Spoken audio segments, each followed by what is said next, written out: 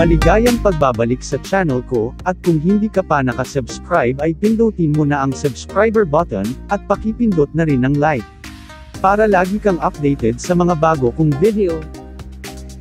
Si Rance Kyle ay ipinanganak noong ika-6 ng Mayo taong 1977 sa Pilipinas kina Lance Ongsi at Elced Evidenra. Nag-aral siya sa Sid Montessori School at kalauna nagtapos mula sa Don Bosco Technical College Mandaluyong.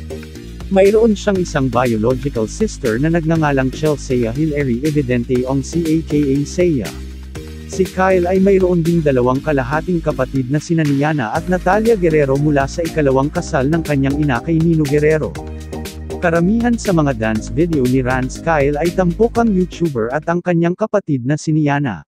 Siya at ang kapwa YouTuber na si Oliver Lance Posadas ay nakipagtulungan din sa YouTube.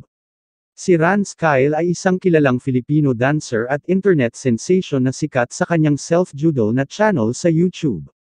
Sikat din siya sa pagiging kalahati ng dance duo na Rance at Niana, ang kalahati ay ang kanyang stepsister na si Niana Guerrero.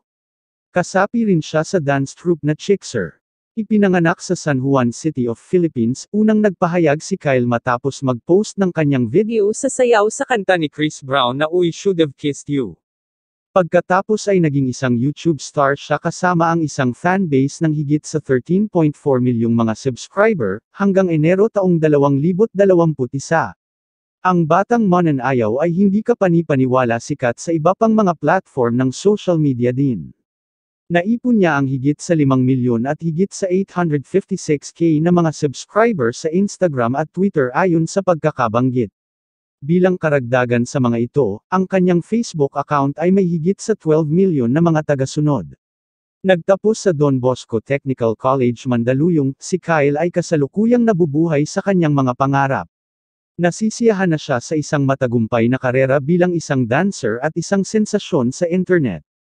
Bukod sa kanyang profesional na pagsisikap, ginagawa niyang puntong gumugol ng kaunting oras sa kalidad kasama ang mga miyembro ng kanyang pamilya. Ang nilalaman ni Rance Kyle ay hindi lamang limitado sa sayaw at choreography, ngunit sumasaklaw din sa isang hanay ng iba pang mga paksa tulad ng mga hamon, kalokohan, tag vlog, at iba pa. Si Rance Kyle ay may tinatayang net na nagkakahalagang $4.77 milyon.